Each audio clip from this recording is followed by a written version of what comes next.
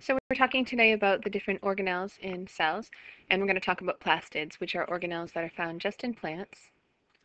Major organelles found in plants, O and algae, which are photosynthetic protists. So those are almost like primitive plants. Plastids are a specialized class of cellular organelles that they're like mitochondria. They carry their own DNA, and they're believed to be descendants of cyanobacteria. So cyano means blue-green, so blue-green bacteria, which are photosynthetic bacteria. So a chloroplast is one example of a plastid, and that's really the only one that you really, really need to know. The others, there might be one question on it, but um, chloroplasts are a big deal. Excuse me. So some type of plastids are chloroplasts. You've probably heard of these. They're green because they have the pigment chlorophyll in them. I don't know if I spelled that right. Anyway, plast means it's an organelle, and chlorophyll is the green pigment found in chloroplasts. Amyloplast, remember this? Amylase. Um, this is just to help you remember. It has nothing to do with it, really. But this is an enzyme that breaks down starch. Amyloplast is a plastid, so an organelle in plants, that stores starch chromoplast colored. So this one is red or purple or whatever, and it helps um, make plants parts a certain color, like a really red tomato or um, a pink flower. So we'll look at chloroplasts first. So here's the cell. And those little green things in there are chloroplasts. And they evolved, we think, from bacteria. So they're found only in producers, um, plants and photosynthetic protists. There are producers that are bacteria, but of course bacteria do not have membrane-bound organelles, and this is indeed a membrane-bound organelle. They use energy from sunlight to make their own food. Energy from the sun is stored in the chemical bonds of sugars, so like glucose, for example. So, so glucose is a sugar, and its formula is C6H12O6. And so these are chloroplasts found within a cell. Chloroplast structure. This I'm going to teach to you now, and then we're going to come back to it when we do the photosynthesis unit. So it's a double membrane, which gives evidence to the idea that it was once a bacteria because here would be the original cell with the nucleus, and it's starting to take in this bacterial cell. And so a second later, it's going to look like this.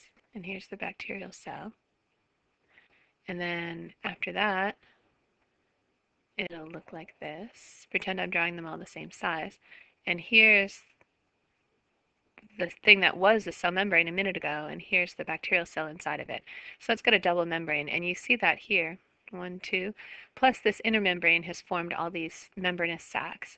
So the sac is called a thylakoid sac, um, so here's a thylakoid. And then a granum is a stack of thylakoids. The stroma is the goop that's in here. And you have an inner membrane and an outer membrane. so chloroplast structure, they are surrounded by a double membrane. The inner membrane is modified into sacs, and each of these sacs is a thylakoid. Thylakoids in stacks are called grana, and they're all interconnected. So you see these tubes, they actually connect one stack to another stack. Stroma is the goop, the gel-like material surrounding thylakoids. So that's like the cytosol in a cell, except this is inside an organelle. So they contain their own DNA, which makes them as cool as uh, mitochondria. They contain enzymes and pigments. The pigment, the big pigment, the major one, is chlorophyll for photosynthesis. I definitely spelled it wrong last time. It's only one L.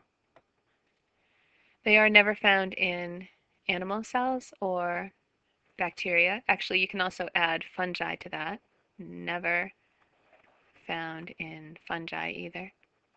Unless there's a symbiotic relationship between fungi and something else. Like, for example, lichen is a symbiotic relationship between fungi and algae. The algae would actually have um, chloroplasts in them, but the fungi itself wouldn't. Next one, and I'm adding this one because it's part of one of the labs that we're doing. So amyloplasts, these are non-pigmented clear organelles They make and store starch. They also convert this starch back to sugar when the plant needs energy. They're found mainly in fruit and in underground storage tissues like potato tubers. So this picture is taken from um, a potato. So it wouldn't be taken from the leaves of the potato. They would have chloroplasts in them, right? Because they need to do photosynthesis. But if you look at the roots, what happens is that the plant does photosynthesis and it doesn't do photosynthesis down here. So you're actually going to find zero chloroplasts down here underground, right? Here's the, the ground and here's the soil underneath and these are the roots.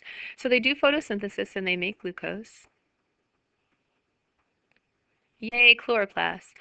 The glucose is actually, it'll be put together um, as a disaccharide. It's going to be transported down here and then the, the potato is going to grow these big tubers out of here.